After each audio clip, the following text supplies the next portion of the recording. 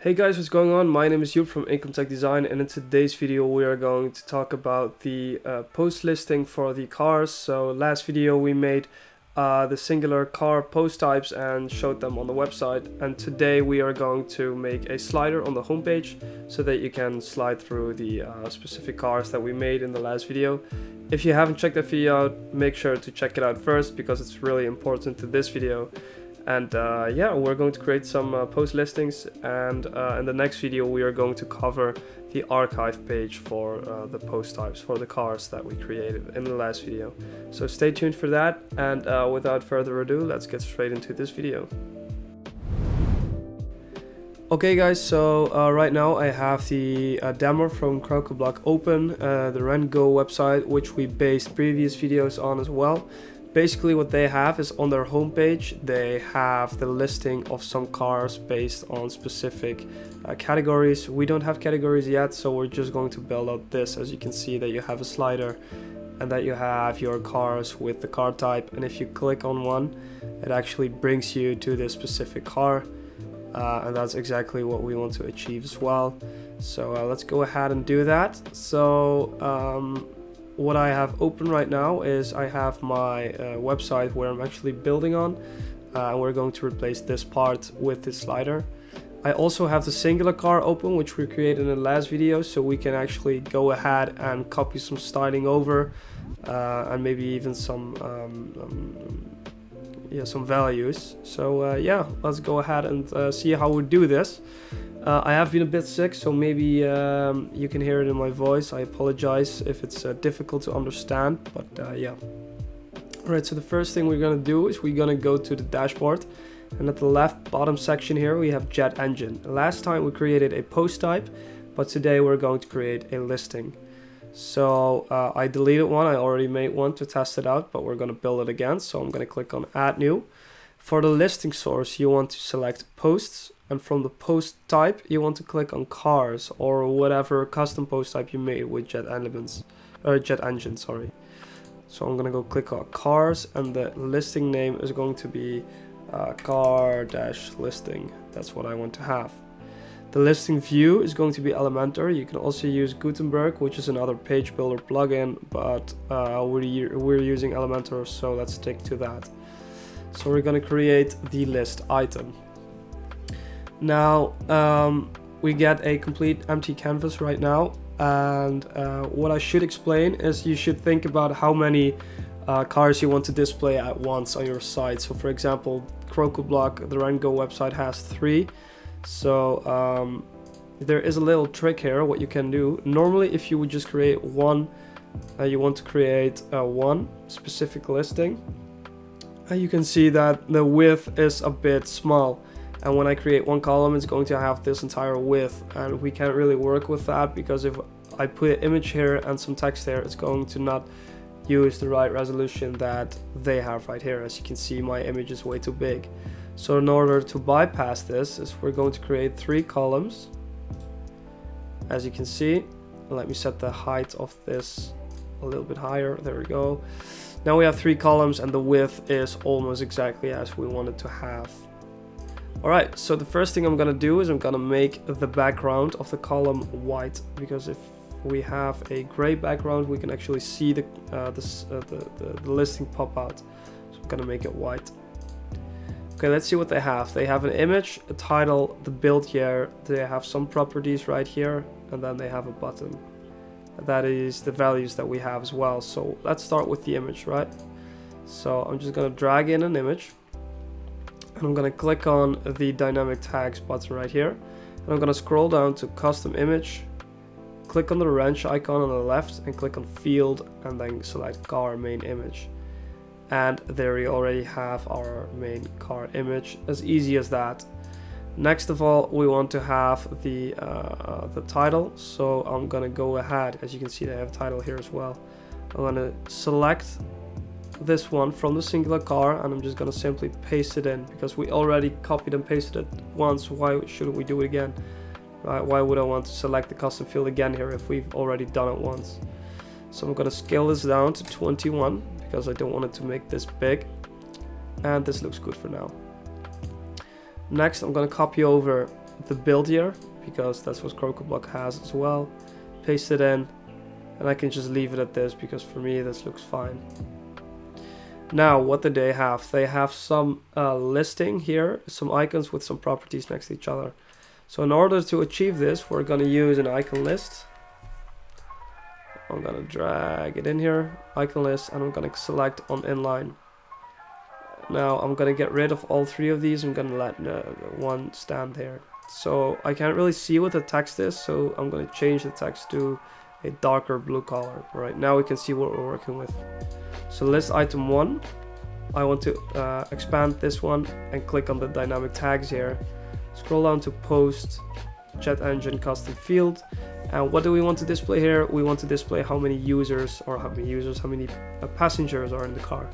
So what I do is I select the passengers and it's going to display the number of four because we can only sit with four people in this car and then the icon we're just gonna say user not Yuster user there it is user and there it is alright so now I'm gonna duplicate this one. Let's see what else we have. We have the doors. How many doors do we have? So the custom field is going to be doors. And the icon is going to be the open doors as well. There we go. And last but not least we have the consumption because we don't work with the bags. Uh, I didn't add these. So we're gonna do consumption. So let's select consumption let's click on the icon and make it the gas pump icon. There we go gas pump. And there we have our icons that we want to have. Now I'm going to style these up a little bit because they look not really nice if you ask me. So I'm gonna make the size of the icons a bit bigger. Let's say 20 and the text I'm going to make this a little bit no I'm gonna keep it at 16 but I'm gonna make the weight a bit bigger so it looks more like that. And the icon color I'm gonna make it a bit gray like a light grayish color so it looks like this. This looks perfect for me. All right now next of all what do we have? We have the rent now button. So what I want to do is we want to have a button here that says see car or go to car or uh, view car. That's it. It's gonna go view car. So I'm gonna drag in a button click on it or drag it in and then we see click here. So first of all I'm gonna say view car and the link you can click on the dynamic tags and you can click on post URL that's it. That's everything we need just a post URL that's it. Now uh, I'm gonna do the styling for a little bit. So uh, I'm gonna keep the typography as it is because I like this typography but the color is going to be the primary one and I'm gonna disable a border radius because we have slightly curved edges on the border or on the button and I don't want that so I'm gonna keep it at zero. Now you can also add an animation so maybe I can do a shrink. When you click on it it shrinks it looks quite nice or grow. Uh, I'm gonna keep shrink. Alright shrink, shrink is good.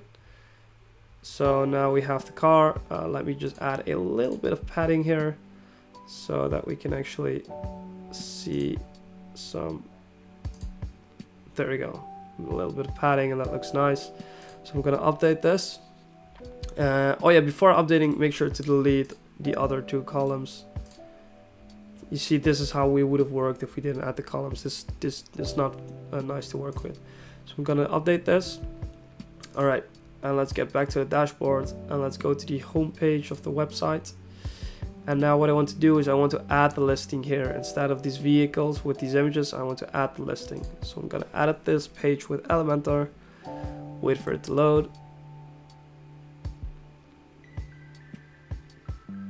still loading. Okay, here we are. Still having trouble. Okay, there we are. Scroll down to the recommended cars.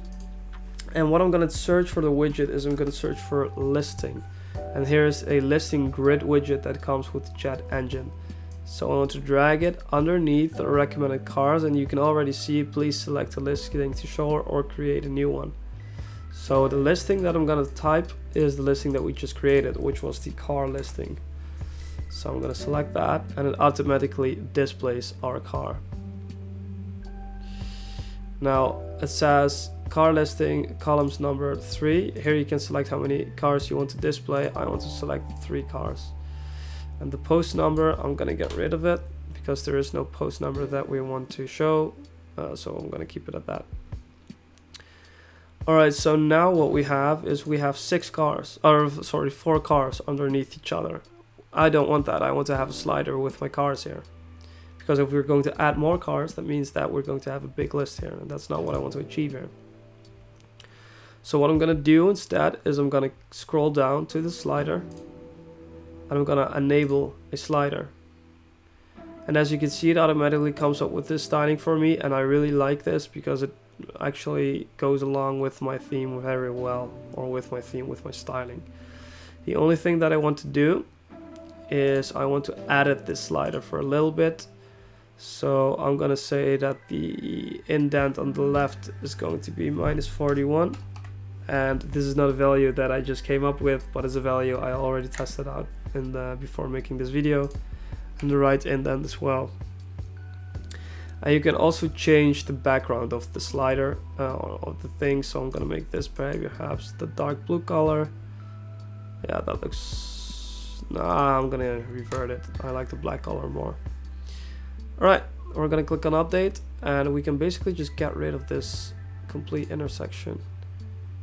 Alright, so let's add some padding, some margin on the bottom here. One, two, three, four. Alright, that looks great. So I'm gonna keep it at this. Let's update it and let's view the homepage. Here we are, the homepage and here are our recommended cars with the images, the title and their own values inserted. And if we click on the slider you can see we can just go through the cars that we already implemented on the website in the previous video. So now if I click on view car you can already see the URL at the bottom left side here it says slash car slash Hyundai venue slash Infiniti Skyline slash Honda so it actually corresponds already to our car which is amazing. So if I go back and I select a different car for example this Infiniti Skyline it already brings me to this page and this is truly amazing what you can achieve with CrocoBlock's jet engine. So that's actually going to be everything I want to cover in this video not as long as the previous one which might be better because it was almost half an hour.